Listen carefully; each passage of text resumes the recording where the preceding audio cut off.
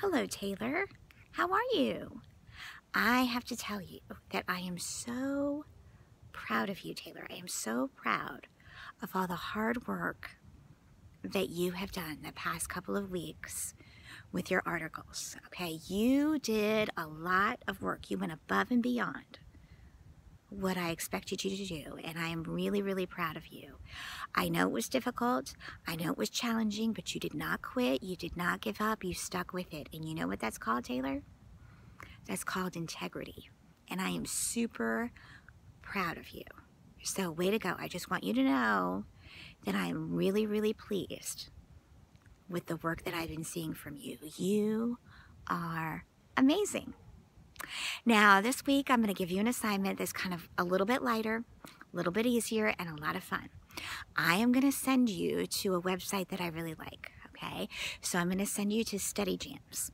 Now, you may have already used this in school. I don't know. That's the one thing that's that's a little tricky about being far away from you is I don't know what websites you usually go to. So if you already know Study Jams, that's awesome. And if you don't, you're going to love it because I'm going to introduce it to you today okay? Now, inside of Study Jams, there's about 10 different topics that you can click on.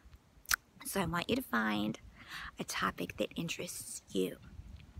And inside of that topic, there's a bunch of little subtopics. And when you click on those, there will be videos for you to watch. And they're really cool. They're animated videos, and they're only about four minutes long. But you know what, Taylor? You're going to be really surprised at the amount of information that you can get from a four minute video, from a video. Not from an article, not from a story, not from text, but from a video. That's our lesson this week is there's other sources of information that we can use to gather facts. Now, the first time you watch the video, I just want you to watch it through from the beginning to the end. Okay? And look and listen and see what the video is trying to tell you. Then I'm going to have you watch it a second time through.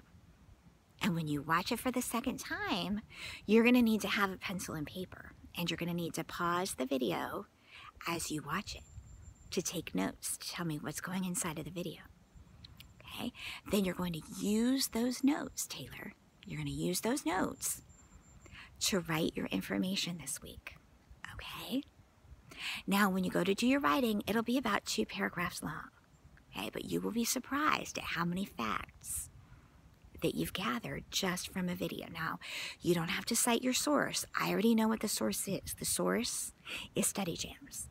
You just need to write about all the cool things that you're learning from a different source, from a video. Normally, we would go to a book or to an article, but it's really cool to be able to use videos and other sources of information to gather facts about your topic. Okay, so again, I'm super proud of all that hard work you did with paraphrasing. Way to go. Your writing is looking amazing. Okay, and I will attach the link to the Study Jams website in this email for you, okay? So you have a great day and you have a great week, and I'll be talking to you really, really soon, okay, Taylor? Bye.